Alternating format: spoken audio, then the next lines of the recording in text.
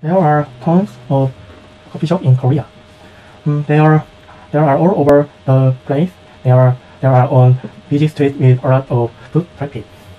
They concentrated They are. they are concentrated near subway stations or universities. Most of them are the coffee shop chains, such as Starbucks or Coffee Bean. These coffee shop, coffee shop chains are quite big in size. Among them, I go to Ediya Coffee near my house. Sometimes, I like to go to a sm- small coffee, coffee shop near my, near my school.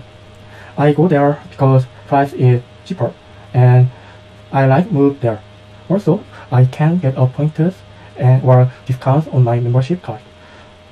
Next, they have a free Wi-Fi, so I can access to inter- internet.